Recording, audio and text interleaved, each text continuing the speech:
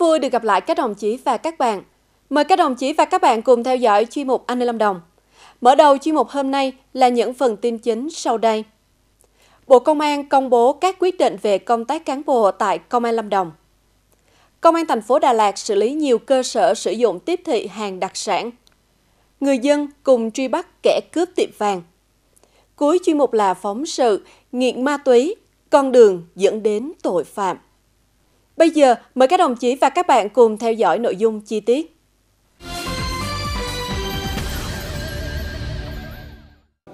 Chiều ngày 8 tháng 7, tại Công an tỉnh Lâm Đồng, Bộ Công an đã tổ chức lễ công bố quyết định về công tác cán bộ. Thượng tướng Nguyễn Văn Thành, Ủy viên Trung ương Đảng, Thứ trưởng Bộ Công an chủ trì buổi lễ công bố. Dự lễ công bố các quyết định về công tác cán bộ của Bộ Công an còn có đồng chí Đoàn Văn Việt, Phó Bí thư tỉnh ủy, Chủ tịch Ủy ban nhân dân tỉnh Lâm Đồng, trưởng đoàn đại biểu Quốc hội đơn vị tỉnh Lâm Đồng. Tại buổi lễ, Thượng tướng Nguyễn Văn Thành đã trao quyết định nghỉ công tác chờ hưởng chế độ hưu trí của Bộ trưởng Bộ Công an đối với Thiếu tướng Bùi Văn Sơn, Ủy viên Ban Thường vụ tỉnh ủy, Giám đốc Công an tỉnh Lâm Đồng. Đồng thời, công bố quyết định của Bộ trưởng Bộ Công an giao nhiệm vụ cho Đại tá Vũ Nhân Khánh, tỉnh ủy viên, Phó Bí thư Đảng ủy, Phó Giám đốc Công an tỉnh, phụ trách Công an tỉnh Lâm Đồng.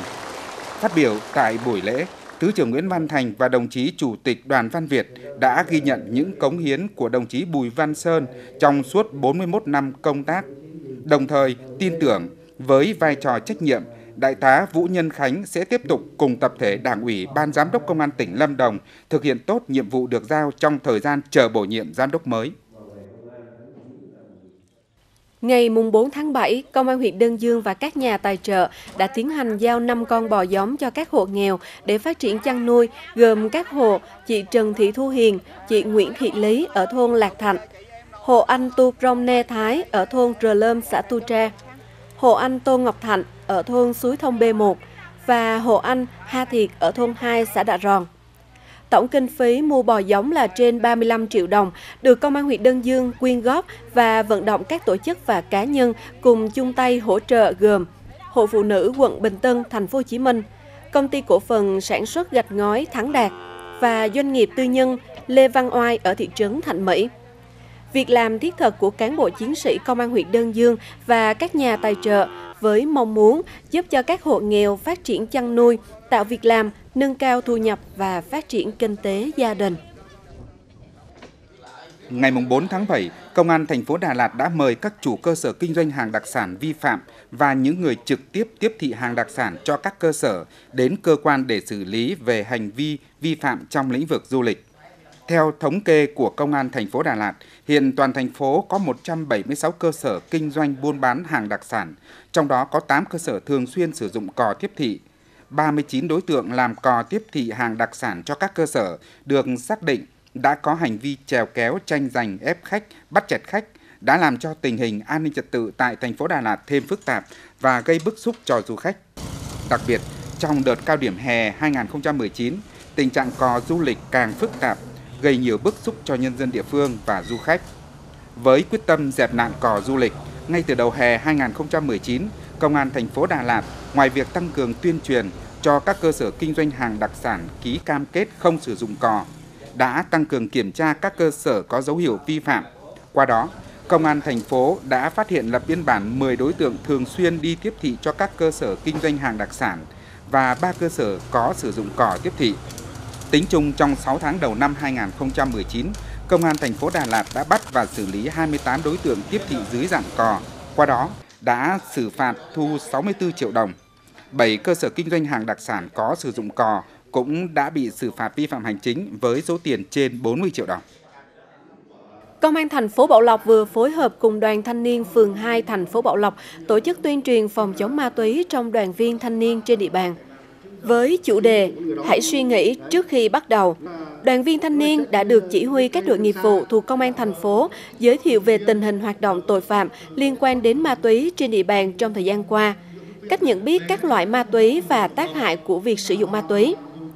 Qua đây kêu gọi những chủ nhân tương lai của đất nước hãy là những tuyên truyền viên tích cực, nâng cao tinh thần cảnh giác để không bị dụ dỗ, lôi kéo vào những hoạt động không lành mạnh, tránh xa ma túy, không thử dù chỉ một lần. Bên cạnh đó, tích cực vận động người thân, gia đình và bạn bè cùng phòng chống ma túy. buổi tuyên truyền cũng gửi thông điệp đến với các bậc phụ huynh hãy nâng cao vai trò của gia đình trong quản lý giáo dục con em trước những cạm bẫy của xã hội, tạo điều kiện giúp đỡ những người nghiện, cai nghiện và tái hòa nhập cộng đồng. Ngày 2 tháng 7, Cơ quan Cảnh sát điều tra Công an tỉnh đã tống đạt các quyết định thực hiện lệnh bắt tạm giam đối với Hoàng Thị Điệp, sinh năm 1977, trú tại thôn Đạ San, xã Liên Hà, huyện Lâm Hà, để điều tra về hai tội danh lừa đảo chiếm đoạt tài sản và sử dụng con dấu hoặc tài liệu giả của cơ quan tổ chức. Điệp là kẻ cầm đầu cùng 11 đồng phạm có hành vi dùng giấy tờ giả, hồ sơ giả, lừa ngân hàng LV, chi nhánh huyện Lâm Hà với số tiền 22 tỷ đồng. Trước đó, Điệp đã bị cơ quan cảnh sát điều tra ra quyết định khởi tố bị can nhưng cho tại ngoại vì đang nuôi con nhỏ dưới 36 tháng tuổi. Nay cơ quan điều tra thay đổi biện pháp ngăn chặn, bắt tạm giam Điệp để điều tra. Được biết, tháng 8 năm 2018, Công an tỉnh Lâm Đồng tiếp nhận tin báo tố giác tội phạm từ Ủy ban nhân dân huyện Lâm Hà phản ánh một số đối tượng có hành vi dùng giấy tờ có dấu hiệu giả mạo, thế chấp vay vốn tại ngân hàng LV với tổng số tiền trên 22 tỷ đồng.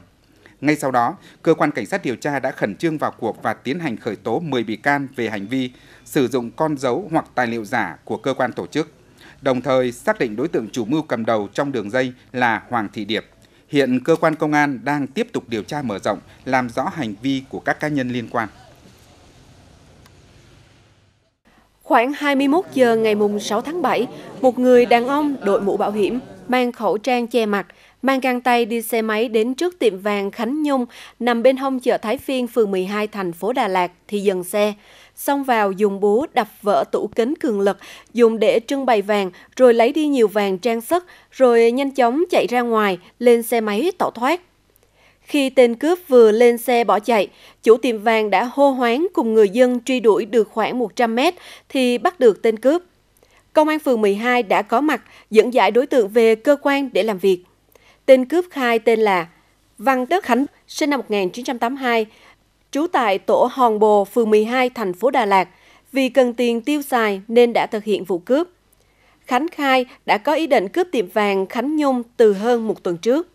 Trước khi gây án, Khánh mua cây búa tại chợ Đà Lạt, chạy xe máy ra nơi vắng tháo biển số xe để tránh bị phát hiện, rồi đến tiệm vàng và gây ra vụ cướp.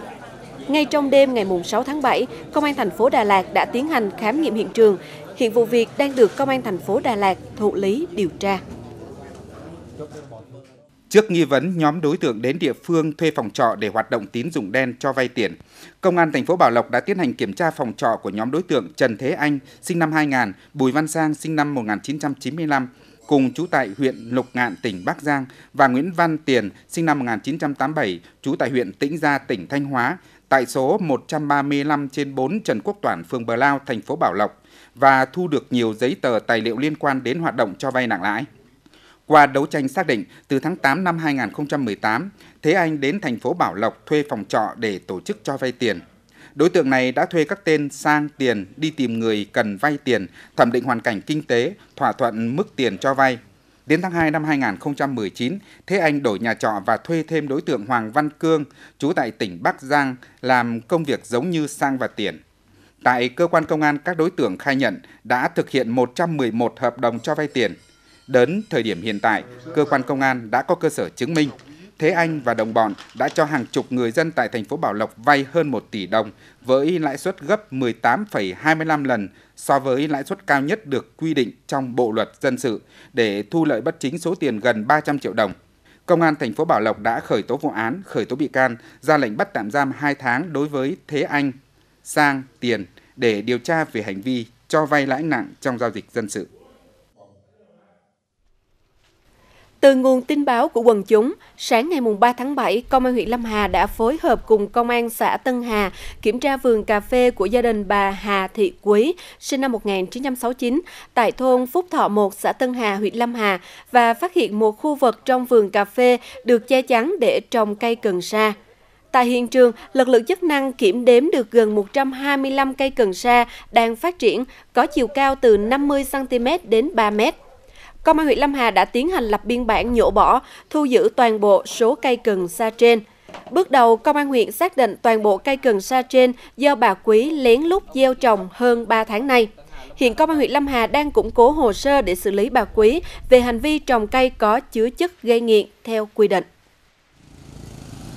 Khoảng 3 giờ ngày 5 tháng 7, xe khách biển kiểm soát 49B 01612 do tài xế Nguyễn Minh Hòa, sinh năm 1968, trú tại xã Ninh Gia, huyện Đức Trọng điều khiển, đang lưu thông theo hướng Đà Lạt, Nha Trang.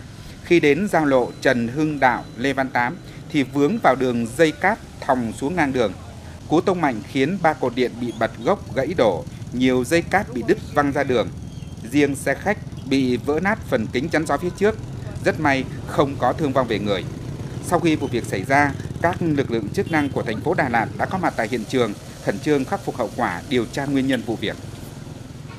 Khoảng 13 giờ 30 phút ngày 9 tháng 7, trên quốc lộ 20 đoạn qua thôn 8 xã Lộc An, huyện Bảo Lâm, ông Phạm Bá Nghị, 54 tuổi, trú tại thôn 3 xã Lộc An, huyện Bảo Lâm, điều khiển xe máy lưu thông theo hướng từ thành phố Bảo Lộc đi thành phố Đà Lạt.